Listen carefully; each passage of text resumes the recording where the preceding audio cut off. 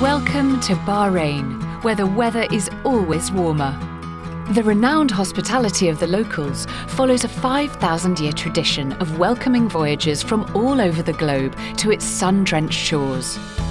Not only is the weather always warmer here, the Bahraini people are known as some of the friendliest in the world. Today, this small island archipelago continues to attract a mix of ethnicities, religions, and cultures. And when it comes to cuisine, it's a cultural mixing pot of possibilities. Local restaurant Saffron, owned and run by popular chef Nariz Kambar, offers a traditional Bahraini breakfast with an international twist. Bahrainis are very proud of their heritage, as islanders have always been known for their generosity and their warmth, and that certainly showed itself in our food. The lovely thing about Bahraini cuisine, it has many influences from around the world. The culture of food in Bahrain is all about sharing, it's about love.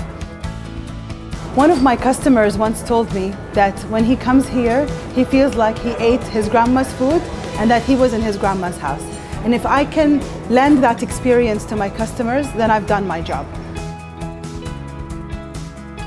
Bahrain has a strong tradition of markets where visitors can sample the local street fare.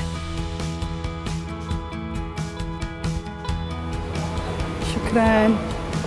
Now this is the best coffee in Manama Souk. Manama Souk is a feast for the senses. The sounds, colours, smells and flavours invite travellers into the heart of the Bahraini experience. And if you want your memories to last, you can take the aroma of Bahrain home with you. Just another reason why it's always warmer in Bahrain.